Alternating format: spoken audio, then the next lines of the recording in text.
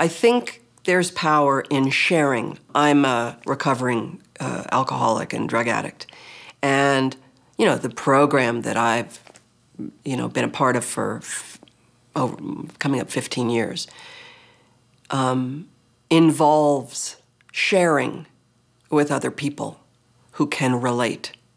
And so I think there's great power in not holding it inside you. You know, somebody once told me that, you know, the most dangerous neighborhood is between your two ears.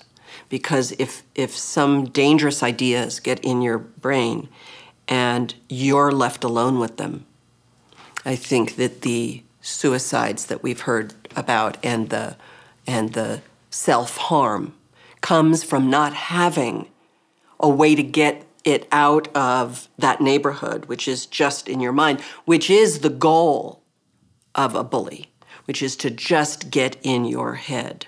Anytime you can get it out, every time you get it out, there's a feeling of I'm not alone, uh, there are people who understand, um, and I think that's crucial